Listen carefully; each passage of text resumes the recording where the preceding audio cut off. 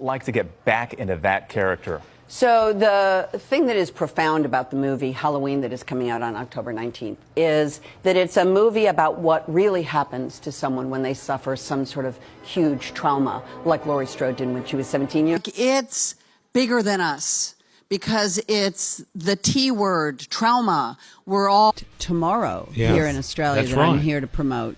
Um, is a movie about trauma. It's really a movie about what happens to someone when they survive an attack. Se- Scene is told 40 years later. We find Laurie Strode in isolation. Um, trauma isolates people. Trauma that is untreated, uncared for, and Yeah. um, and it just so happens that we're at a time in the universe where women are confronting the trauma of their lives and, and she was 17 when this happened. Mm-hmm. So she became an adult having survived the trauma. And now and so the movie was written before that.